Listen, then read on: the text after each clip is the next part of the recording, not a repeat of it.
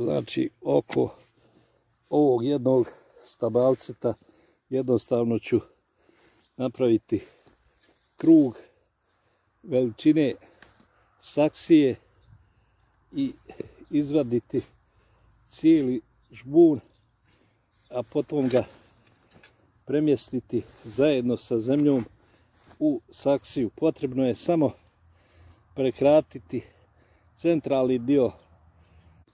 Evo ja sam to uspio odraditi, nisam to mogao snimiti jer sam morao sa obe ruke to raditi. Znači, komplet sa zemljom prenio sam ovo stabalce papričica, odnosno feferona.